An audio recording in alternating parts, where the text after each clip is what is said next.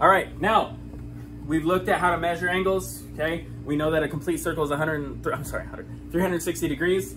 Now we're gonna work on adding and subtracting angle measures, okay? This is very important stuff. So I'm gonna draw two angles here that share the same vertex, okay? And let me name them. So this is A, B, okay? So the two angles I have here are angle ABC and angle CBD, right? ABC, CBD. Okay, you put that vertex in the middle of your angular name. Um, now, this is actually easy if you keep it straight. Okay, if you keep it um, sequential, you do it logically, this is actually super easy.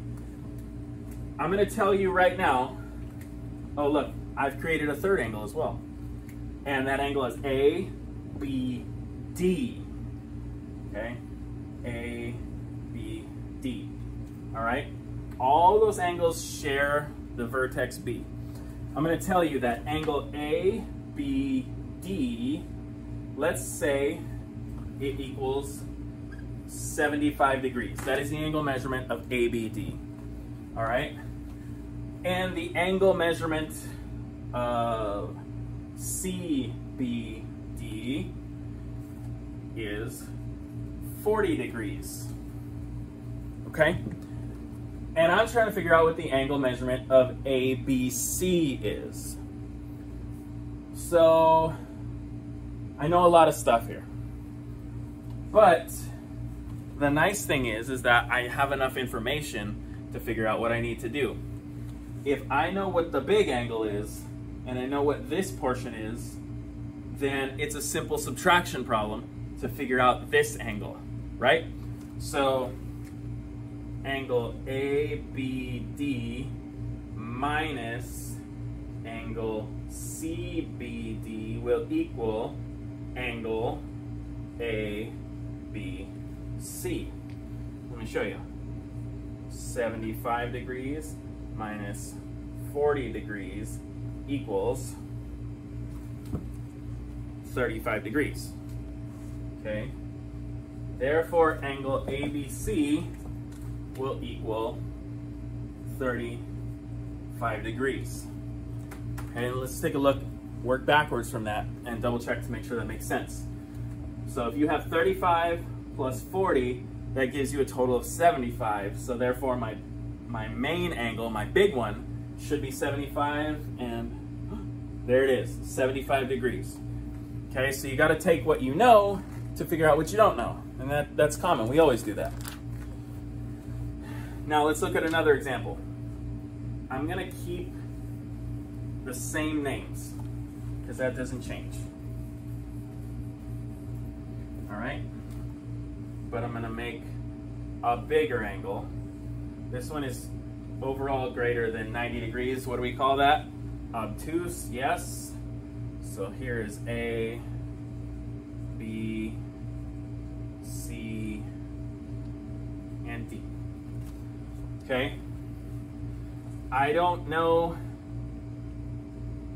I don't know the main angle, but let's say I know that this is 53 degrees, okay, CBD. Let's assume we know that CBD is 53 degrees, and let's assume that we know ABC is 57 degrees.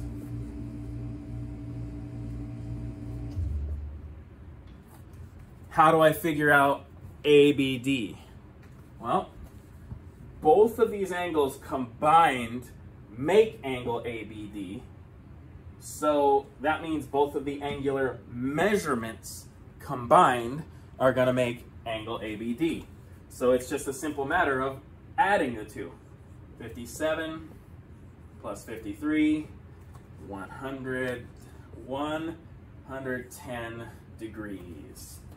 Okay, and that that's about right, right? That's, I mean, that's pretty good.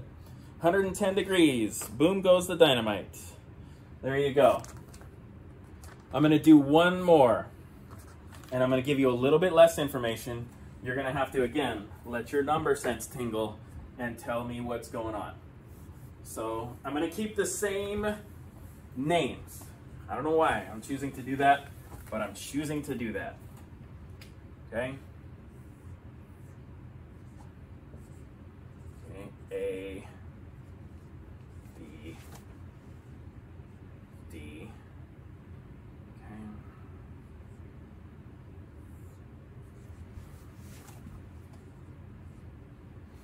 All right, so I've got two angles there. Now in the past, I've given you two angle measurements and you either had to decide whether you subtract to find out one of the remaining ones or whether you add it to find out the overall one. This time I'm only gonna give you one, but you're gonna be able to figure out what the rest is. So I'm gonna give you angle CBD. I'm gonna tell you that's 30 degrees. I want you to pause it for a minute and I want you to write this down and figure out what angle ABC is. Okay? I haven't given you any more information other than one tiny angle, but I guarantee you have enough to do it.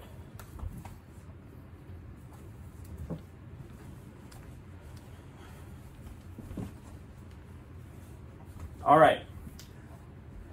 What was the one thing I didn't mention, but you should have seen it and immediately known what was going on? Yes, this little square right there. What does that mean? That little square angle means it's a right angle, and a right angle is 90 degrees. So I know that ABD is 90 degrees because of the way it was written. You don't put a square on an angle unless it's 90 degrees. Therefore, now I know I have enough information to solve what angle ABC is, okay? Because this angle, ABC, plus this angle, CBD, must equal 90 degrees. And what plus 30 equals 90 degrees? Yep, 60. 60. Okay, and there you go.